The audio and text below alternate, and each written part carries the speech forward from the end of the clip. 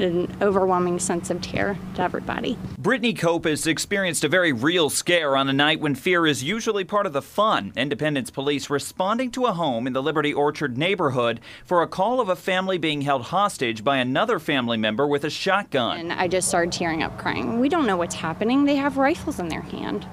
So it was very, very, very scary. Investigators say the call came at about 6 p.m. Wednesday, apparently from the Water District's number. Jerry Townsend lives near the home where police responded with rifles. He says his neighbors have only lived there several months. At first, he thought it was a Halloween prank. They came to our neighbor's house and they had no idea what was going on. So, you know, it was just uh, not something anybody was anticipating, and the timing probably couldn't have been any worse. He took these photos from a window after he said police told people to go inside and lock their doors. There was a street full of, you know, parents in costumes, you know, of course, a lot of kids in costumes. Soon, police realized there was no threat. Officers are now looking at the possibility this was a swatting incident, a prank, where someone describes a dangerous situation in a call to get a big police response.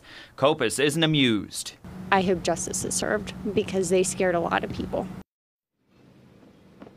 Now, Independence Police say it's too early to know if this was indeed a swatting incident. Right now, they're working to trace who placed this call. We are live in Independence. Dan Griffin, WLWT News 5.